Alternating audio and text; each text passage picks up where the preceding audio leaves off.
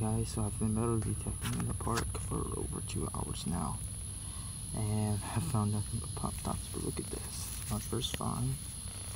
Uh, it's a shield penny. One of what I hope many finds. Alright, later.